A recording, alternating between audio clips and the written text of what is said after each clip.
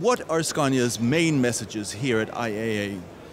I think the main message is very clear. We have said, let's talk about what we can do as Scania together with our customers and our customers' customers in terms of the main parameters for, for our uh, customers, fuel efficiency, uptime, uh, different type of services. And therefore, we are showing a broad range of applications because it always starts where is the specific customer operating after that, we are showing uh, the services that we can add on, and we are showing also some uh, product highlights that will further reinforce uh, the position for our customer, such as, for example, the fantastic 450 SCR only machine, Euro 6 execution, but also gas execution of our 9 liter that will be a very good uh, selling point for both distribution, waste collection, buses, but also for long haulage actually.